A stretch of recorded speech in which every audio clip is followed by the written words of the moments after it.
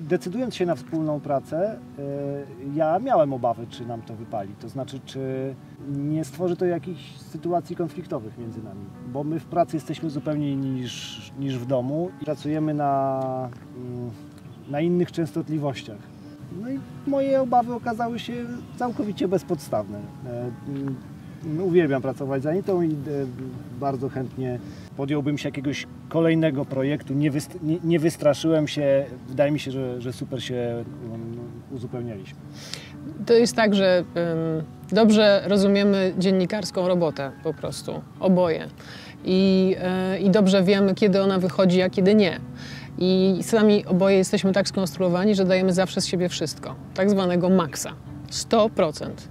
E, Przez całe nasze zawodowe życie tak było i u Michała, i u mnie. I to po prostu e, też świetnie razem zadziałało, że e, dając siebie maksa, angażując się totalnie w, w ten projekt, zrobiliśmy wszystko, żeby nie tylko wypalił, nie tylko się udał, ale żeby był właśnie jak najlepszy i, i żebyśmy byli po prostu z niego dumni. I to całkiem miłe jakby doświadczenie, zdanie sobie sprawy, że mm, to, że ja potrafię na przykład nie spać przez dwie doby, to wiedziałem już, bo, bo przez e, wiele, wiele lat jeździłem na wiem, wielkie turnieje piłkarskie, gdzie nie było czasu na sen.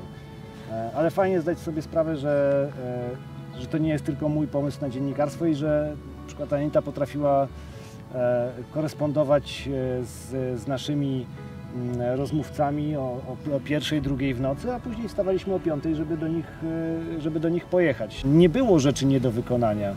Było trzeba przejechać z, z Tel Awiwu do Jerozolimy bardzo szybko po to, by dowiedzieć się, że za godzinę mamy jednak spotkanie w Tel Awiwie.